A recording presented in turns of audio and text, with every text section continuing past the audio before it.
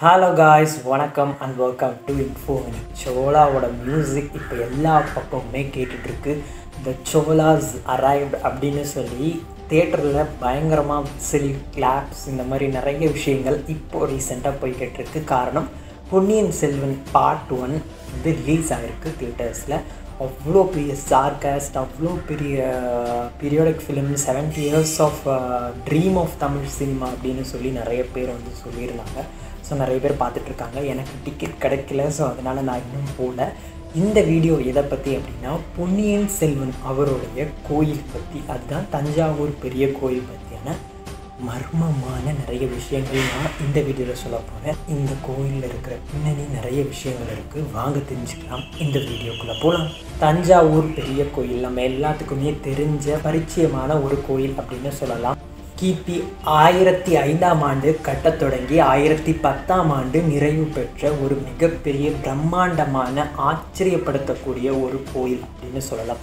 ஏன் இவ்வளோ விஷயம் சொல்கிறேன்னா இதுக்கு பின்னாடி அவ்வளோ விஷயம் இருக்குது அதில் ஒரு சிலதெல்லாம் உங்களுக்கு தெரிஞ்சிருக்கும். தஞ்சாவூர் பெரிய கோயிலை பார்த்தாலே நம்ம எல்லாத்துக்குமே அவ்வளோ விஷயங்கள் வெளிப்படையாக தெரியும் அப்படின்னு சொல்லலாம். நம்ம நாடு அவ்வளோ செழிப்பாக இருந்தது. கட்டமைப்பு கலாச்சாரம் இதில் எல்லாத்துலேயுமே மேலோங்கி இருந்த ஒரு நாடு தமிழ்நாடு தஞ்சை நாடு மதுரை சுற்று வட்டாரம் அப்படின்னு தெளிவாக அதில் சொல்லியிருக்காங்க. கல்வெட்டுப்படி பார்த்தா குஞ்சர மன்னன் ராஜராஜ பெருந்தச்சன் அப்படிங்கிறவர் தான் இந்த கோயிலை கட்டின ஒரு இன்ஜினியராக தெரிகிறாரு ஸோ கல்வெட்டில் வந்து அவருடைய பெயர் பதிக்கப்பட்டிருக்கு. அவரோட பேர் மட்டும் இல்லாமல் அந்த கல் இந்த கோயிலை கட்ட உதவிய மக்களோட பேரும் அதில் இருக்குது அப்படின்னு சொல்லலாம். என்னடா இது? நம்ம கோயிலில் வந்து நம்ம ஊரில் வந்து இந்த கோயில் இவங்க கட்டினது. அவங்க ஒருத்தர் பேர் தான் இருக்கணும். இந்த வ- இடம் இவங்களோடது அப்படின்னு ஒருத்தரோட பேர் தானே இருக்கும். ஊர் மக்களோட மொத்த பேருமே கல்வெட்டு வரலாறாக பதிவு பண்ண ஒரு மன்னன் ராஜராஜ சோழன் அப்படின்னு சொல்லலாம். ஏன் பண்ணார் அப்படின்னா அந்த மக்கள் கிட்ட வந்து நேரடியாக அந்த கோயில் கட்டுறதுக்கு ராஜராஜ சோழன் வந்து கிட்டிருக்காரு. ஸோ உங்ககிட்ட என்னென்ன செல்வங்கள் இருக்கோ அது எல்லாமே இந்த கோயில் கட்டுறதுக்கு உதவுங்கள் அப்படின்னு சொல்லி ராஜராஜ சோழன் மக்களிடத்தில் கேட்டிருக்காரு. அதுக்கு அங்கே இருக்கிற மக்கள் செல்வந்தர்கள் எல்லாருமே பணம் பொருள் நகை எல்லாத்தையுமே கொடுத்து உதவி பண்ணியிருக்காங்க. ஏழைகள் எல்லாருமே என்ன பண்ணியிருக்காங்கன்னா அந்த கோயில் கட்டுறதுக்கான உழைப்பை கொடுத்துருக்காங்க. ஸோ இதை பார்த்து ராஜராஜ சோழன் அங்கே இருந்த எல்லா மக்கள் உதவிய மக்கள் எல்லாத்தோட பேருமே கல்வெட்டில் பதிவு பண்ணியிருக்காரு அப்படின்னு சொல்லலாம். இந்த கோயில் எவ்வளோ ஒரு பெரிய கோயில் அப்படின்னா இருபத்தேழு ஃபுட்பால் கிரவுண்டோட ஃபீல்டு அளவுக்கு இருக்கும் அப்படின்னு சொல்கிறாங்க அவ்வளோ பெரிய பிரம்மாண்டமாக கட்டணும் அப்படின்னு சொல்லி அந்த இன்ஜினியர் கிட்ட வந்து ராஜராஜன் சாலன் சொல்லியிருக்காரு. அவர் சொல்கிறதுக்கான முக்கிய காரணமும் இருக்குது ஸ்ரீ இலங்கையில் தான் அவர் போயிருந்தார். பொன்னியின் செல்வன் பார்த்துருந்தா உங்களுக்கு தெரிஞ்சிருக்கும். ஸோ அந்த இலங்கையில் போகும்போது பெரிய பெரிய புத்தர்கள் சிலையெல்லாம் அவர் பார்த்துருக்காரு. இதை பார்த்தோன்னே அவருக்கு வந்து என்னடா புத்தர்களுக்கு இவ்வளோ பெரிய சிலை இருக்குது நம்ம ஊரில் இந்த மாதிரி சிலைகள் எல்லாம் இல்லையே? அப்படின்னு சொல்லி ரொம்ப புறாமப்பட்டு தமிழ்நாட்டில் இருக்கிற எல்லா கோயிலுமே சுற்றி பார்க்குறாரு. அவங்க நாட்டில் இருக்கிற எல்லா கோயிலுமே சுற்றி பார்க்குறாரு. எங்கேயுமே பெரிய அளவுக்கு சிவனுக்கு ஒரு கோயில் இல்லை அப்படின்னு உடனே டக்குன்னு கூப்பிட்டு கட்டுறாத அப்படின்னு சொல்லி ஒரு ஆர்டர் போடுறாரு. அப்போ தான் அந்த கோயில் உருவான விஷயம். முதல் விஷயம் எனக்கு இன்ஸ்பயர் ஆன முதல் விஷயத்த நான் ஷேர் பண்ணணும் அப்படின்னு சொல்கிறேன் பிரம்மாண்டமாக ஆச்சரியப்படுற ஒரு விஷயம் அப்படின்னா அந்த கோயில் மேலே இருக்கிற அந்த கோபுரம். ஸோ அந்த இதுதான் வந்து ரொம்ப பெரிய ஆச்சரியமான விஷயம் அப்படின்னு சொல்லலாம்.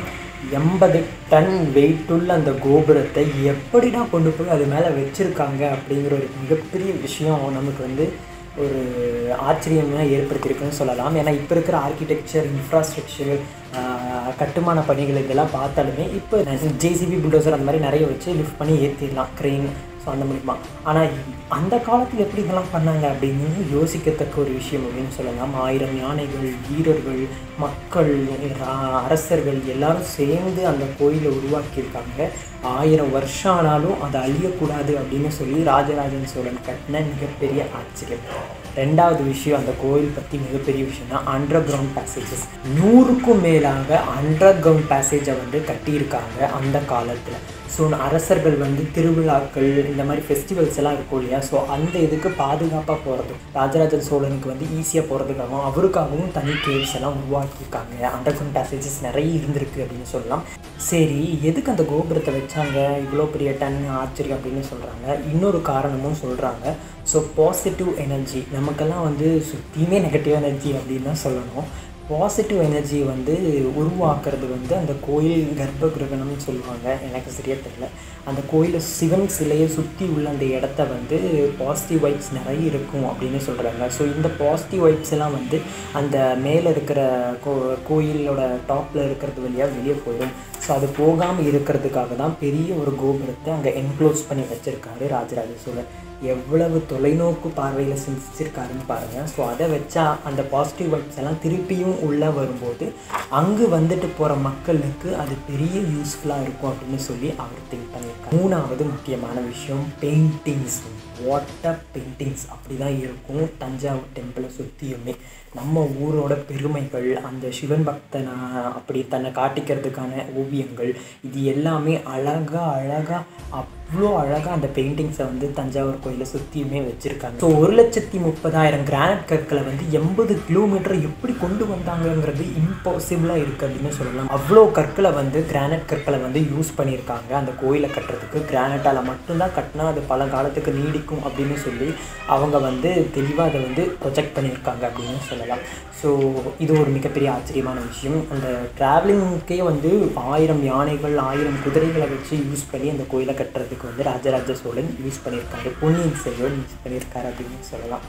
ஸோ இன்னொரு விஷயம் என்ன பார்த்தீங்கன்னா கிரானைட் கற்களை வந்து டக்குன்னு ஒரே வெட்டாக வெட்டிட முடியாது. ஸோ இருக்கிறதுலே ஹார்டஸ்ட் ஸ்டோன் ஸோ அதை வந்து செதுக்கிறதுக்கு வந்து பல விஷயங்கள் வந்து தேவைப்படும். கை உடஞ்சி போகலாம் அது கீறினாலே வந்து ஆளே காலியாகிடக்கூடிய நிலைமையெல்லாம் இருக்குது ரொம்ப கடினமான வேலைப்பாடுக்கூடிய ஒரு கல் அப்படின்னு சொல்லலாம். அதை அவ்வளோ அழகாக நுணுக்கமாக வடிவமைச்சு அதோட ஷேப் அதோடைய ஸ்ட்ரக்சர் எல்லாம் உருவாக்கி அந்த கோயில் அமைச்சிருக்காங்கன்னா ரொம்ப ரொம்ப ஆச்சரியப்படக்கூடிய ஒரு விஷயம் அப்படின்னே சொல்லலாம். என்ன? பொன்னியின் செல்வனோட கோயில் ரொம்ப இன்ட்ரெஸ்டிங்காக இருந்துச்சா?